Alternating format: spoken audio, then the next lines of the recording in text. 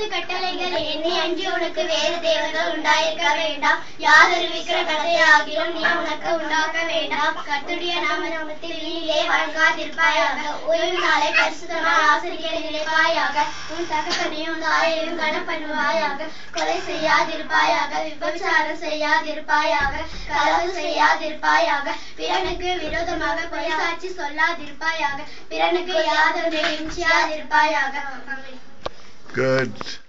பிதாவே உம்முடைய நாமம் எங்கள் பாவங்களை பொறுத்தருளும் எங்களை சோதனையில் விடவிடாதேயும் தீவிலிருந்து எங்களை ரட்சித்தருளும். ஆமென்.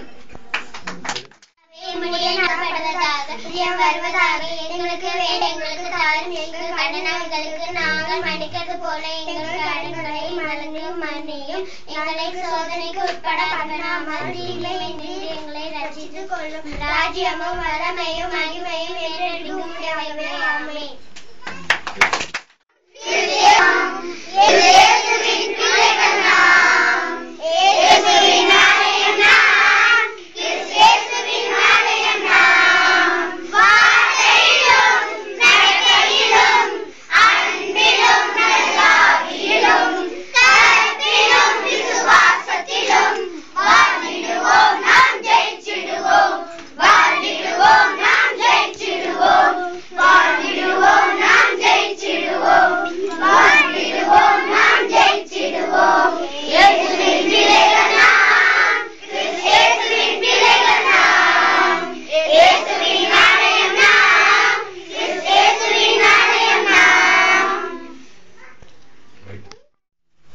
நான் தான் பிதா. பரலோகத்தின் ராஜா. பூமியில் உள்ள எல்லா பாவிகளையும் பரிசுப்படுத்தி பரலோகத்துக்கு அழைத்து வர என்னுடைய ஒரே குமாரனாகிய இயேசு கிறிஸ்துவை பூமிக்கு அனுப்புகிறேன்.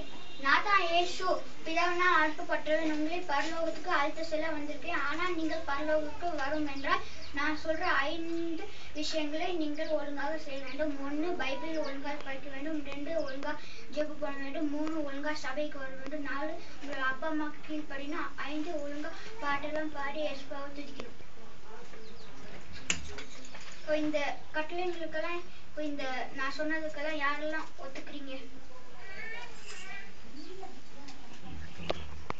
அடுத்த வாரம் நம்மளோட ப்ரேயர் ஸ்டார்ட் பண்ணுவோம்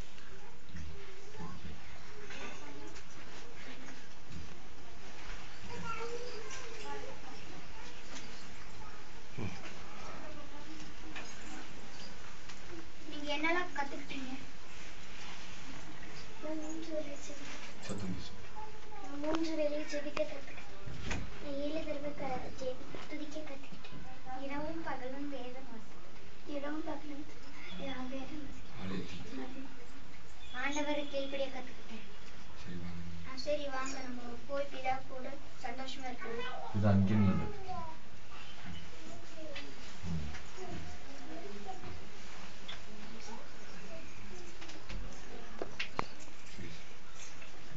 இந்த